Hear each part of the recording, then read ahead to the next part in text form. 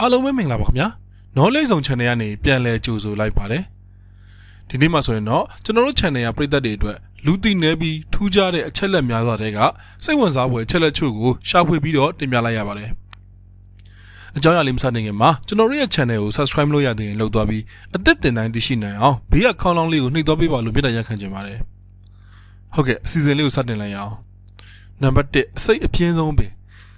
ကမ္ဘာပေါ်မှာအစိတ်အပြင်းဆုံးပင်ကဩစတြေးလျမှာတွေ့ရတဲ့ဂျင်ပီဂျင်ပီလို့ခေါ်တဲ့အပင်ဖြစ်ပါတယ်။အဲ့ဒီအပင်ကိုထိမိတယ်ဆိုရင်လေထိခဲ့ရင်တော့မှအဆစ်ပူလောင်တာနဲ့ဓာတ်လိုက်ခံရတာရောရှက်တဲ့ခံစားချက်မျိုးရရှိနိုင်ပြီးဘယ်တက်ရှိမဆို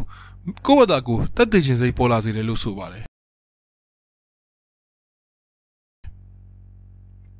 နံပါတ်1အနက်ရောင်နှင်းစီ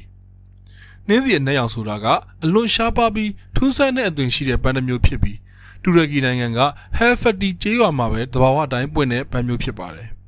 ။နံပါတ်3မှောက်လျက်အိတ်တက်တဲ့သူတွေမတ်တက်တဲ့အိမ်မက်အိတ်ဆက်တဲ့အခါမှာလက်တွေကိုခေါင်းအထက်နားမှာထားရင်မှောက်ရက်အနေထားနဲ့အိတ်ဆက်တဲ့သူတွေကတခြားပုံစံနဲ့အိတ်ဆက်တဲ့သူတွေထက်လိမ်မိုင်းဆိုင်ရာအိမ်မက်တွေမနိုင်ချေပိုများပါတယ်လို့သိပ္ပံပညာရှင်တွေကလေ့လာထားရတွေ့ရှိရပါတယ်။နံပါတ်4 Hudson Bay ကနေဒါနိုင်ငံဟက်ဆန်ဘေးလို့ခေါ်တဲ့ကမ္ဘာပေါ်မှာဘယ်နေရာထက်မဆိုမြေဆွဲအားပိုနေပါတဲ့နေရာတစ်ခုရှိနေပါတယ်။နံပါတ်5အရေအပြုံးနေကြသူများ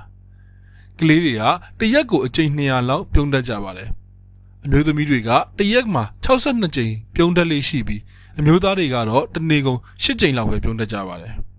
။နံပါတ်6 Terminator မြင်း ကဘာရဲ့နေဘက်ချမ်းနဲ့ညဘက်ချမ်းကိုပိုင်းခြားရမြင်းကိုတာမင်နေတာလို့ခေါ်ပါတယ်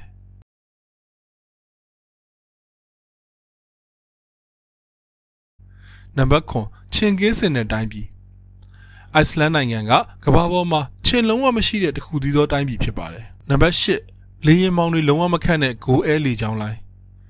အိန္ဒိယနိုင်ငံက Go Air လေကြောင်းလိုင်းမှာလေရင်မောင်းတွေကိုလုံးဝမခန့်ထားပဲလေရင်မယ်တွေကိုပဲခန့်ထားပါတယ် အကြောင်းကတော့အမျိုးသမီးတွေရဲ့ကိုယ်အလေးချိန်ကပိုပြီးပေါ်ပါတဲ့အတွက်တစ်နှစ်ကိုလောင်စာစီစရိတ်ဒေါ်လာ9သိန်းလောက်ပိုပြီးတက်တာစေတာကြောင့်ဖြစ်ပါတယ်။နံပါတ်9တန်တစ်ချက်မှမရိုက်ဖဲစောက်ထားတဲ့တစ်သားဖျားကြောင်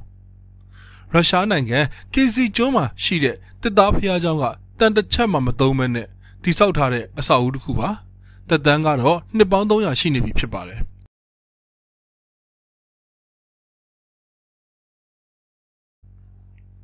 နံပါတ်10မွေးရပါမျက်နှာအပူကတက်လို့တေးခဲ့ရတဲ့သူ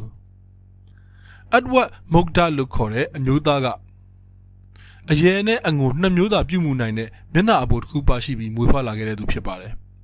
အဲ့ဒီမျက်နှာအပူကိုညာဘက်တွေမှာသူ့ကိုထိတ်လန့်တုန်လို့ဖွယ်ရတယ်ဒီလိုပြောတာကိုမခံစားနိုင်တော့တဲ့အတွက်ကြောင့်ခွဲစိတ်ဖယ်ရှားပေးဖို့ဆရာဝန်တွေထံတောင်းဆိုခဲ့မှုပါတယ်အဲ့ဒီနောက်မှာတော့အသက်23နှစ်အရွယ်မှာပဲကိုယ့်ဘာသာကိုအဆုံးစီရင်သွားခဲ့ပါတယ်